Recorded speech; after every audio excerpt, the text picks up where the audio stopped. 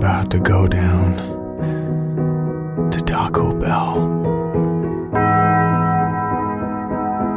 and get me a Baja Blast. Alabama, Arkansas.